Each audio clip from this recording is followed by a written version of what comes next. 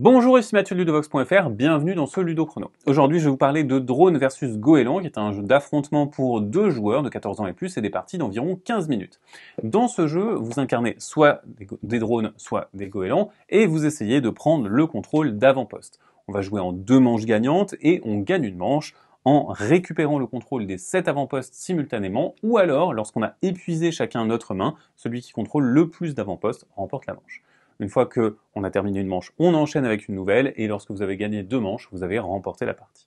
Voilà pour le principe du jeu. Maintenant, comment est-ce qu'on va jouer? Eh bien, on va jouer alternativement en tour de jeu. D'abord, on va placer cet avant-poste et on va les faire alterner. Le joueur qui a le moins d'avant-poste à sa couleur va commencer. Ici, c'est moi, c'est le les goélands. Et donc, je vais jouer pour mon tour une de mes cartes en face d'un avant-poste. Et vous voyez que ces cartes, elles ont des forces qui vont aller de 1 à 5 et pour récupérer le contrôle d'un avant-poste, il faut avoir la majorité de la somme des forces. Donc par exemple, ici je vais jouer un 2 face au 0 qui est en face et je vais donc retourner ce jeton pour signifier qu'il est à moi. Lorsqu'on retourne un jeton, eh bien, on va activer le pouvoir de l'avant-poste en question. Et c'est vraiment ça qui va être important. Il va falloir bien combiner le pouvoir des différents avant-postes. La plupart des pouvoirs sont des pouvoirs instantanés. Celui-ci est un petit peu particulier. Il vous permet de remporter les égalités, c'est-à-dire que vous n'avez besoin que d'égaliser pour prendre le contrôle d'un avant-poste. Une fois que j'ai appliqué le pouvoir de mon jeton éventuellement, eh bien, c'est au tour du joueur suivant de jouer.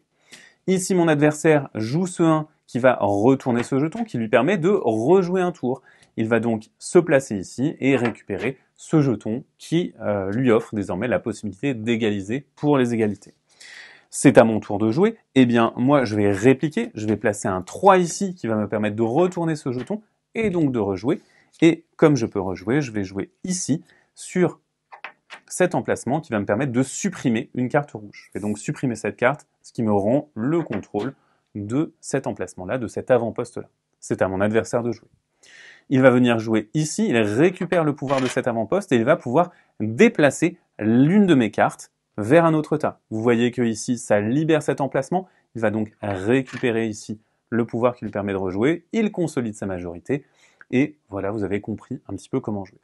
Pour rappel, on alterne les tours jusqu'à ce que on ait une condition de fin de manche qui soit validée. Soit un joueur contrôle les 7 avant-postes simultanément, alors il a immédiatement gagné la manche. Soit, eh bien, on continue jusqu'à ce que les joueurs n'aient plus de cartes en main. Dans ce cas-là, on va regarder qui contrôle le plus avant-poste. C'est ce joueur qui remporte la manche on va enchaîner avec une autre manche, et pour rappel, ça se joue en deux manches gagnantes.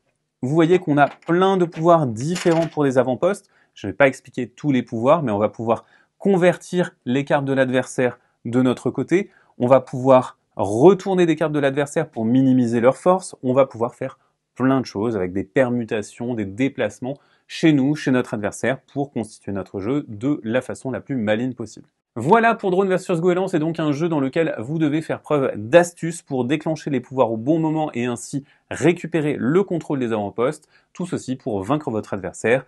À vous de jouer et à bientôt sur ludovox.fr.